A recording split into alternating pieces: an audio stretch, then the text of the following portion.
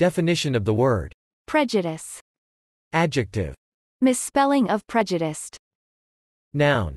An adverse judgment or opinion formed beforehand or without knowledge of the facts.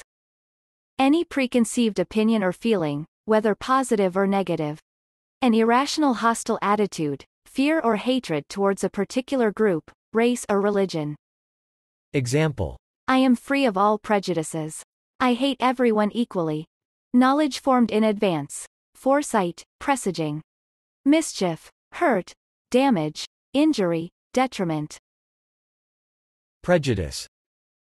Prejudice. Prejudice.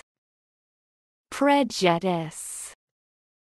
prejudice, prejudice, prejudice prejudice